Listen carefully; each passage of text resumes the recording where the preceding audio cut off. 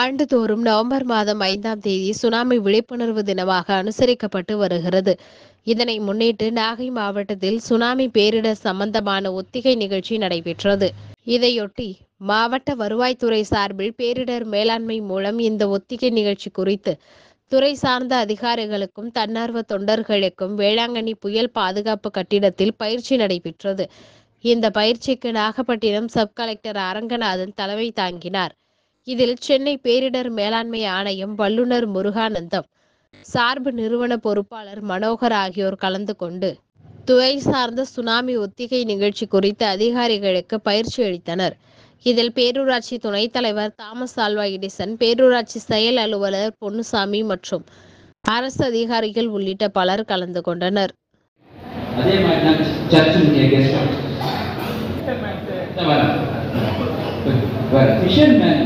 இப்போ நான் கேட்டேன் இல்லையா?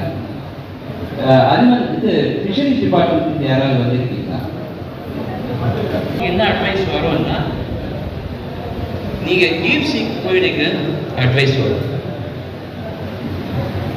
டீப் சி இன்னும் உள்ள போயிடு. கடலுக்கு proposal one year one years கூட வந்துடும் சார் அதுதான் இப்போ அதை வந்து என்ன சொல்றாருன்னா அது இப்போ நான் சொன்னேன் இல்லையா மேப் போட்டு தப்பு அதாவது சேஃபான பகுதிகளை அதை நம்ம இன்க்ளூட் பண்ணிக்கலாம். கவர்மெண்ட் சென்ட் பண்ணுறோம் புரியுது புரியுது புரியுது.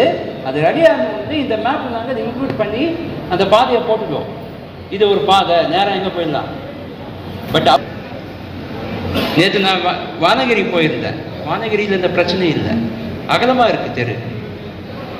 என் வீட்டில் இருக்கிறவங்களை காப்பாற்றி கூட்டு போகணும் எல்லாமே பிளான் ஆகும். இதுக்கு தான் பிளான் வேணும்? எவாக்குவேஷன் பிளான் நீங்களாம் எவ்வளோ கஷ்டப்பட்டீங்கன்னு எங்களுக்கு தெரிஞ்சிடும். ஏன்னா நான் நானும் அந்த சுனாமியை நேரடியாக பார்த்ததுல நானும் ஒருவன ஒருவனாக இருக்கிறேன். அன்னைக்கு எவ்வளோ பேர் இந்த வேளாங்கண்ணி விட்டு பாலூட்டி தலைமுறைகளுக்கு தனியாக அறை கொடுத்து பாதுகாத்தோம்.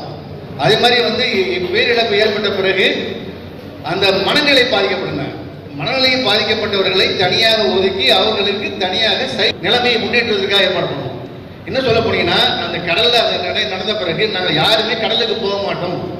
எங்களை கடல் அண்டை எங்களை வஞ்சித்து விட்டால் நாங்கள் போக மாட்டோம்னு சொல்லிட்டு அழுதுகிட்டே கரையிலே மாட்டாங்க அப்போட கலெக்டரோட நாங்கள் சேர்ந்து நாங்களும் அவங்களோட கடலில் ஏறி அந்த போட்டில் அழைச்சிக்கிட்டு அவங்க கடலுக்கு போவோம் ஸோ அவங்கள சைக்கலாஜிக்கலாக ட்ரீட் பண்ணுறதுக்காக அவங்க அழைச்சிக்கிட்டு கடலுக்கு போய்